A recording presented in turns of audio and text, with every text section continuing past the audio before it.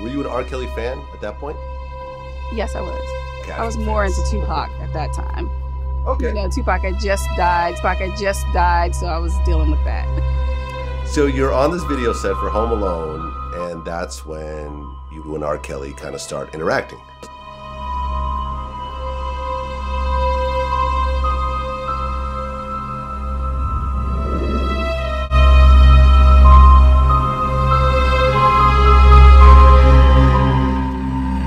I'm at the video shoot, and um, you know, we're doing our scenes, and one of his cousins came up to me. The time, I didn't know it was his cousin. He came up to me and said, "Rob wants to meet you." I'm like, oh, "Okay." You know, I didn't think anything of it at the time because I, I know I'm 17 years old.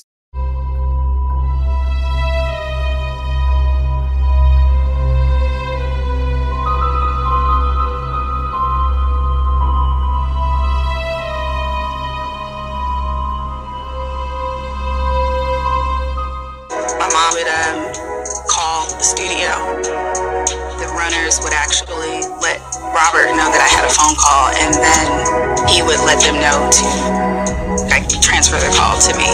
I do know that there were times where when she would get through and she'd be upset and saying she couldn't contact me and things like that. So it very well could have been times where she was calling and they and they weren't allowed to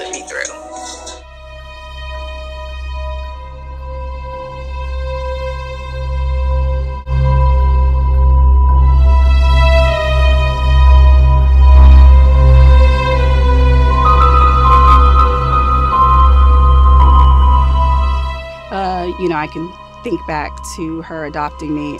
And um, she was really, really nice. And she, because she wanted children of her own, but she couldn't have kids. Okay. So now you're in a better space with, with this woman. Yes.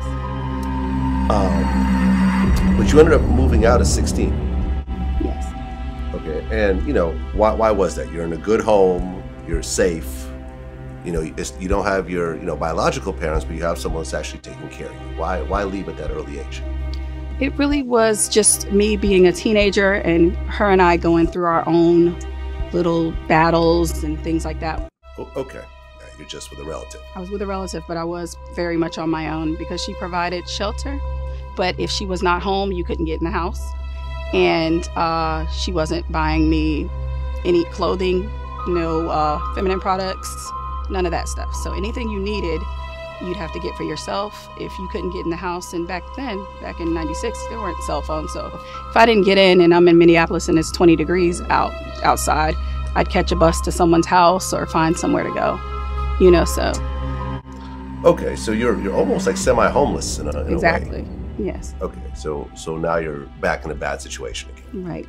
Why not move back home to Atlanta, where you know you have a loving mother? I didn't want to tell her that I was wrong. I didn't want to tell her that I was wrong. where when she would get through and she'd be upset and saying she couldn't contact me and things like that. So it very well could have been times where she was calling. Hey, you said that you've seen Lisa Van Allen around a lot. hmm Okay, you said that she was doing crazy stuff. She was doing her, you know, she's doing her thing. I mean, I mean to the point where, where I mean, dude is, it's too late. dude is very like, you know, we sitting in the studio, you know, and they got the console thing in the middle, the couches on the back, big board in front, and all of a sudden she would just walk in with like just some panties on and and stand in front of the board and just stand there. Okay. So that's the light version of it. For for all of us in there to pretty much view, it was that type of thing. But you know, for some people, they need candles and stuff like that to set a mood. So this is just common practice. It's standard. Come on, you know. It became normal. That that's kind of normal Okay. for the lifestyle, you know, that I See was the in. look on his face. It was normal.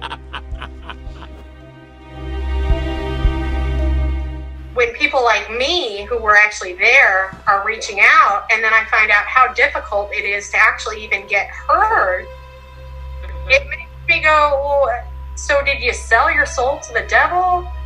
Or because I know you're trying to get a paycheck, paycheck, and I know you're angry. We get that.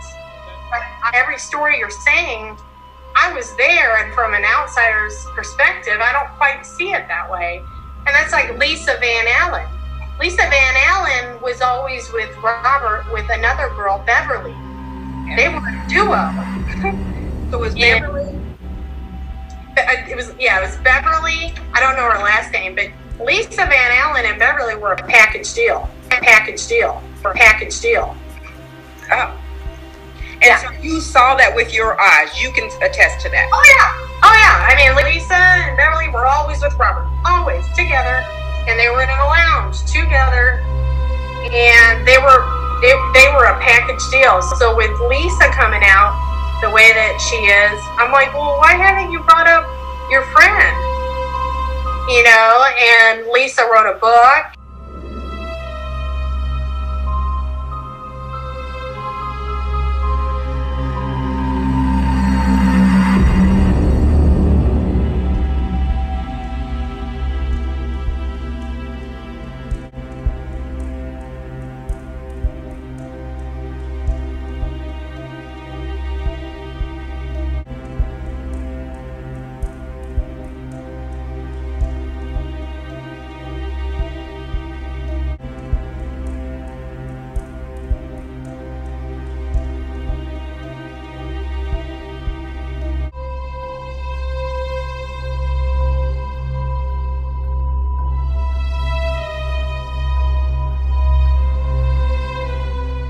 So you had people like Lisa Van Allen. Lisa Van Allen was basically thrown out of court when she testified here at his trial. It was incredible testimony. And everything in that documentary was a rehash of things they've known for years.